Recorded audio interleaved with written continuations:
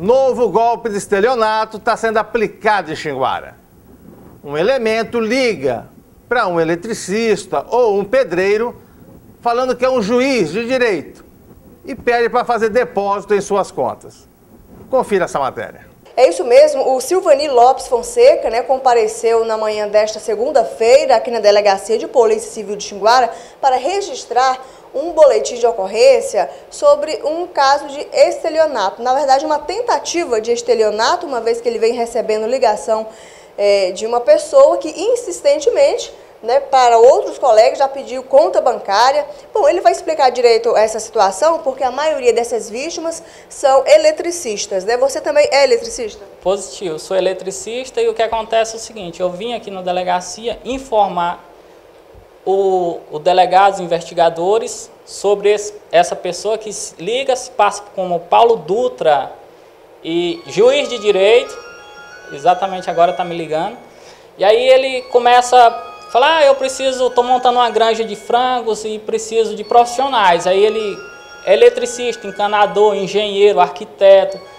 e ele consegue pegar essas informações, liga para a pessoa, aí ele passa ah, eu quero um orçamento, eu quero isso, eu quero aquilo. Com o passar de dois, três dias, ele começa a te pedir favores. Ah, eu quero que você faça isso para mim, eu quero que você faça aquilo para mim.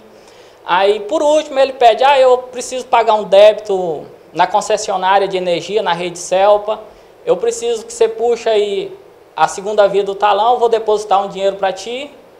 Só que o negócio é o seguinte, ele deposita o envelope, digita o valor, o dinheiro lá fica lá vinculado, não tem nada. Não tem dinheiro nenhum, dinheiro não existe, certo?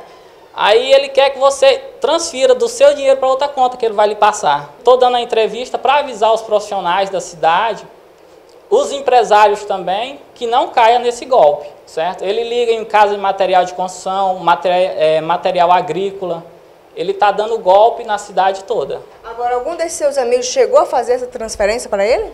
Ainda não, né? Porque é suspeito. Você chega lá na sua conta, tem dois, três mil reais, mas está vinculado. Não, transfere, não posso, está vinculado. Quando o dinheiro cair na segunda, na terça. Ele dá pressão para essa transferência ser feita logo, né? Ser feita logo. Ele até, ah, depositei dois mil reais, mas faz o seguinte, transfere para mim só mil reais. Entendeu? Transfere do seu, né? É, transfere do seu só mil é, é o golpe dele, tá? Bom, e enquanto o Silvani estava aqui na, está aqui na delegacia, estava ali registrando o boletim de ocorrência, e mesmo aqui na sala de imprensa, a pessoa já ligou para ele, né, várias vezes, e a gente percebe que é um papo mole que não está convencendo muito, né? É, ele começa a dizer, ah, eu quero o telefone de, do engenheiro, aí eu terminei passando o telefone de dois engenheiros, só que...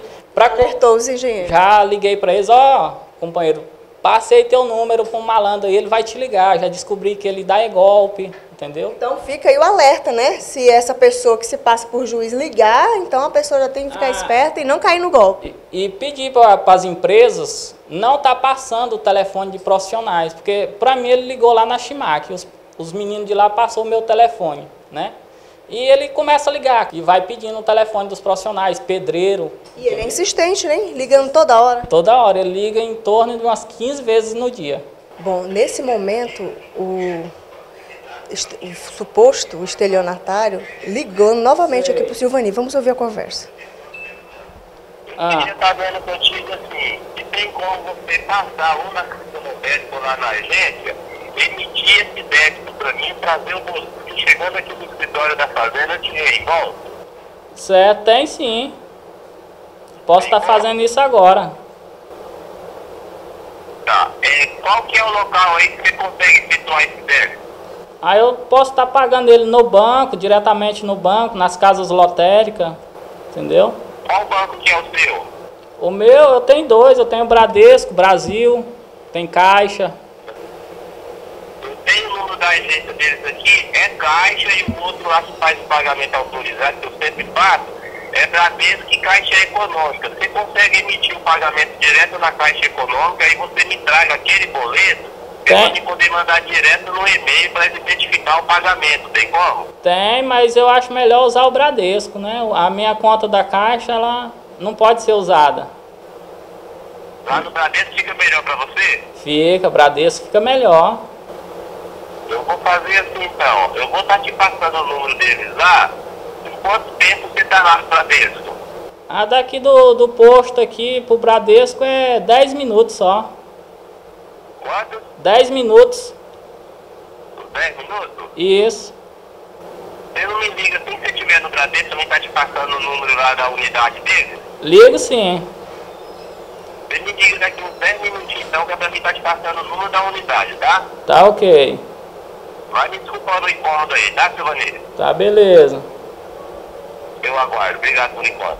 De nada. Quer dizer, mais uma. Se a gente desligar aqui, né? Quer dizer, mais uma vez a pessoa ligando, né? Como eu falei agora há pouco, várias vezes já ele ligou aqui durante o horário que ele estava registrando a ocorrência, agora durante a entrevista ele ligando, agora que terminou, voltou a ligar. Ele, Ele... pedindo favores, né? É, passa a conta de banco e tal, faz isso, faz o aquilo. próximo passo dele deve, ser- deve pedir o número da tua conta, né? Com certeza, o próximo passo é pedir o número da conta e depositar o envelope vazio. Você já tá, já tá indo. Tô dando corda aí pra mim ver ele se enforcando nela, né? Porque se eu não venho aqui avisar, provavelmente teria mais gente que cairia no golpe dele, né? Você vai aguardar e ligar novamente? É, vou deixar ele ligar mais uma vez e vou avisar pra ele que ele não tem nenhuma criança aqui, né?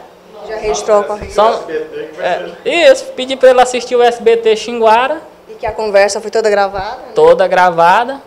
A minha preocupação é com a pessoa Paulo Dutra, porque eu me informei, Paulo Dutra, se não me engano, foi candidato a deputado aqui no estado do Pará.